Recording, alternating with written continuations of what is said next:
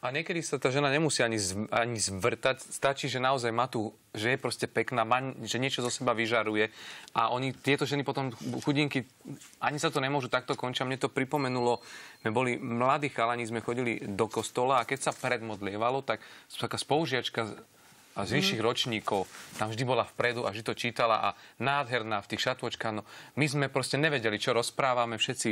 Proste takto to vždy, keď... To on, máte pravdu. Vždy keď, to, vždy, keď sa vedelo, že on, ona bude prečítať, zrazu chalani v kostole. Nikdy Veriaci, nás, nikdy nás nebolo, zrazu sme tam boli a je z toho jedna krásna vec, ktorá ostala do, do dnešného dňa lebo bola tam taká pesnička, to si pamätám, my sme mali tak z nej dometenú hlavu, bola pesnička, kde sa spievalo, že uver v zázrak vykúpenia, bla, bla, bla, a že, že len sa pozri, chromy chodia, slepí vidia a hluchí počujú.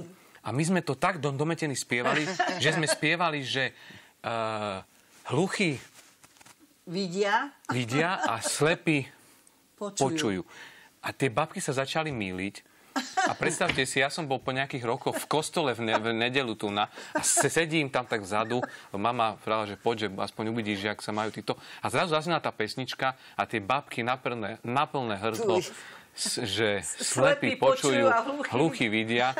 A dodnes to ostalo a vlastne to je zásluha tejto krásnej no, dievčiny, no. ktorá...